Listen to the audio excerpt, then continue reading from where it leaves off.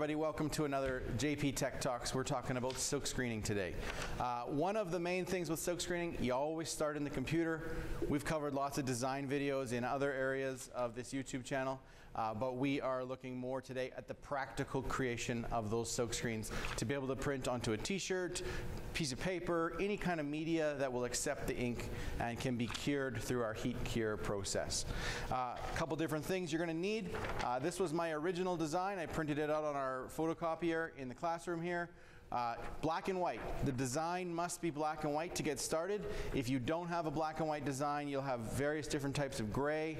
They may turn out, they may not. It's a little bit of a, a gamble. Black and white is the best. As you can see, there still can be lots of detail in the design, but you need to have that nice clean black and white.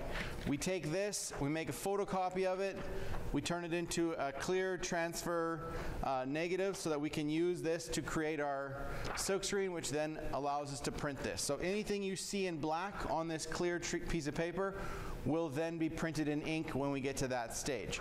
The first step in this process is to get a silk screen out of here. These screens are pre-coated by myself. They are light sensitive, so we want to work quickly and efficiently. If you're not ready to burn to the screen, don't take it out of the cabinet. Okay? Also, it's an old cabinet. Don't just yank on the door. You need to turn the knob perpendicular. It will open beautifully for you. Take out a silk screen that's ready to go. Close the door, top and bottom, turn the handle. Nice and secure, keeps all the other screens in the dark, tucked away, so they're not being exposed to light. We're gonna take this into the other room and get started. Okay, here we are in our silkscreen room. This is our exposure machine. So this burns the picture of our design onto the screen. Uh, I've taken the liberty, because this is light sensitive, to put my screen in here while we were getting this demo set up. So I'm gonna pop it open. I'll show you what it looks like. You've got your screen that is unburned, put it in flat into the exposure machine. We take our clear sheet. This needs to go underneath our screen and you need to be able to read it. When you look straight down on the screen here, you must be able to read the words, otherwise this will not work. Generally, I like to have my design closer to the top or the bottom of the screen just because when I go to put on a t-shirt, it works best for getting it lined up with the collar and stuff. If you have a design that is clearly has a top and bottom, try to line it up so that the top is at the top of the screen.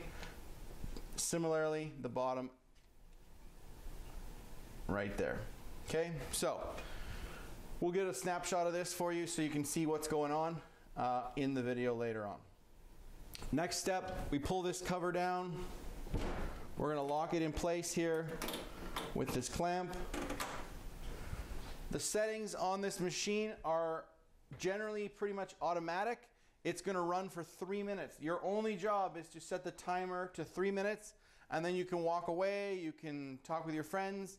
It does get very, very loud and so generally I recommend that you hit the road, wait for the sound to stop and come back and finish up the project in a minute.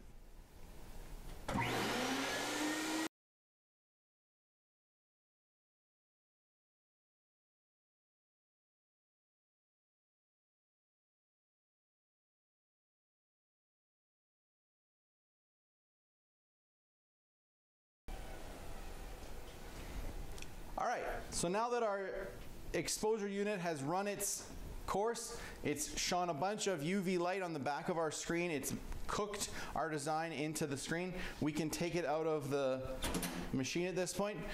Obviously this is spring loaded, so be careful that it doesn't hit you in the face on the way up.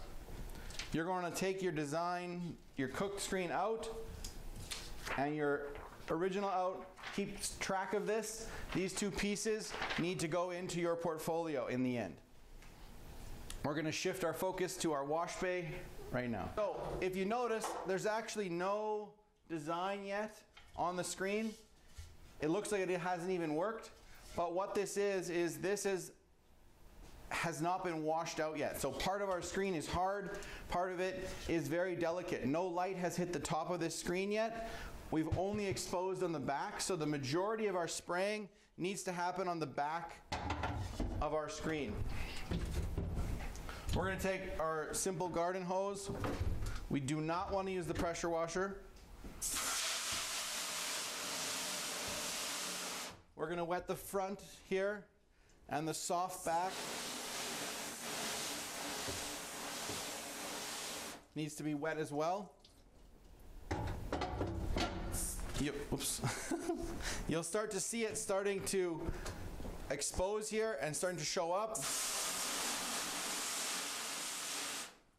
As we continue to spray,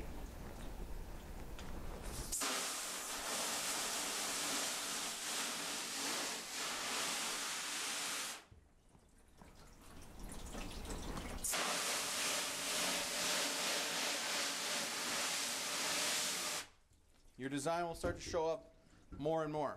I like to run my hand along the design just to kind of break the surface tension of the emulsion. I feel like it helps it to dissolve a little quicker. You can gently do the same thing on the back. Again, making sure that everything is wet. It always needs to stay wet on the back, but not a lot of strong spraying or you're going to end up ruining the design.